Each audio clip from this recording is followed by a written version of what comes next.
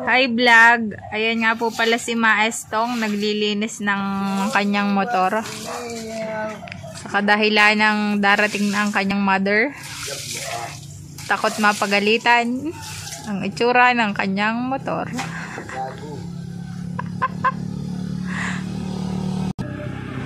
Yan na po si Maestong. Maglilinis na po. Linis ka muna ng motor mo sa mabagang. Yan po. Nililinisan na po niya. Puto pa yung motor, naliliguan. si Maestong, wala pa. Bikini man!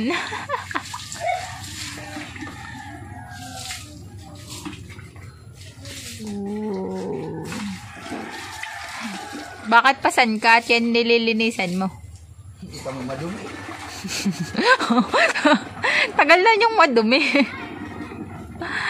Naka-shampoo pa po yan. From Malaysia, ang shampoo niyan. Maestong. Oh my gosh.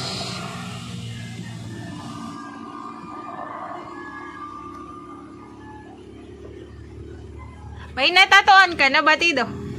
Sabado. Sino? Sabado yung kasalan ah. Ha?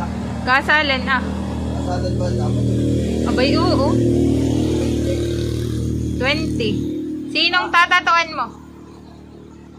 Ano ba yan? Sino? Si Haring Monkey. Meron po siyang post sa Facebook yung mga sad. Gustong magpatato. Yun.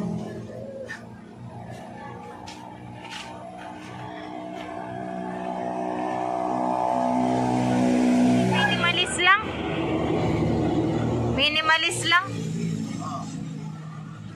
Sino ang taga-bayan? Bakit siya sad?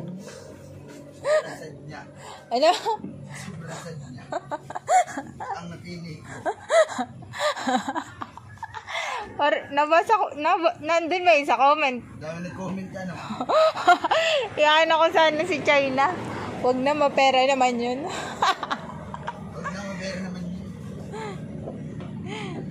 Ay, may ano na ako. May Orange at yellow. Red. Oh, Nakasinso ka na. ako isa five. Sa birthday ko. December. Oo. Do, papaliningan ko lang. Si, si Boy Tato. Talentido. Ano?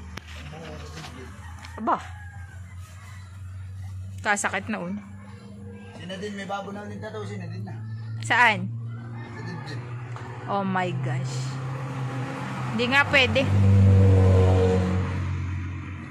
Bawal. Kaunti lang, maliit lang.